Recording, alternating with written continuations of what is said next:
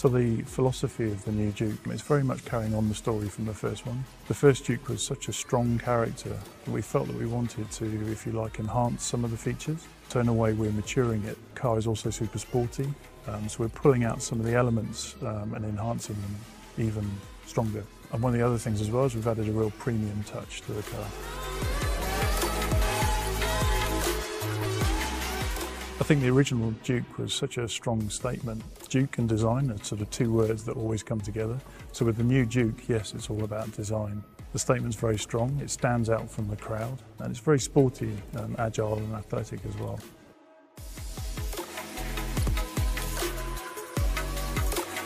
We've got 19 inch wheels, so it's really sporty. It's got a great stance on the road. We've got a floating roof, which allows for personalisation. It's really sporty as well, so it's got a very coupe-like profile. And I think one of the key features is our identifier, the V-Motion grille. So this is the front aspect of the car.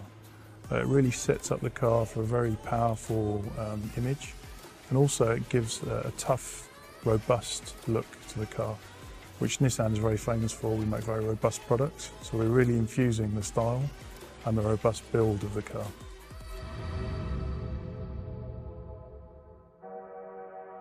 So with the new Juke's design uh, on the interior, we've really watched the way people use their devices. Um, and with so much technology, what we've tried to do is simplify it.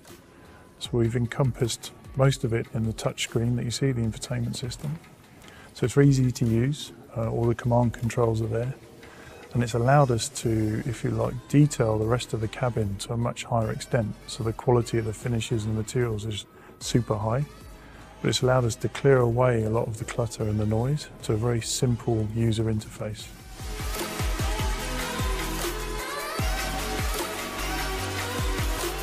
So the Nissan in-car connect services, it encompasses connectivity, even navigation, drive controls. Um, altogether, it's very easy to use on the infotainment system, so the touch screen, giving the, uh, the customer a much more relaxing and comfortable journey. One of the options is the Bose Personal Plus system. It's a really great audio system, it gives the customer a very immersive experience.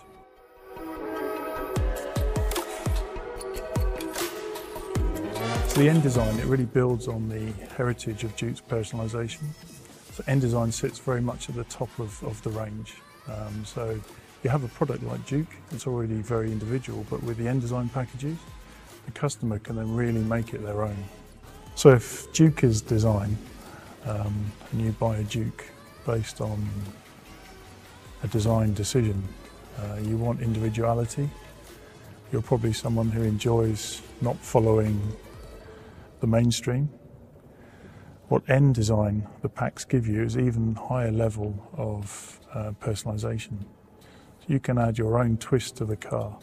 So you're going to make a very interesting car, even more interesting, and actually very premium. The materials that we're using are very high end. So the two-tone interiors is something you would expect from a completely different class of car.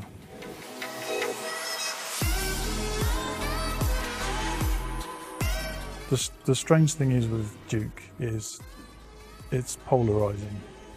So when you're involved in a, with a project like that, you're very aware that the rest of the industry is wondering what you're doing.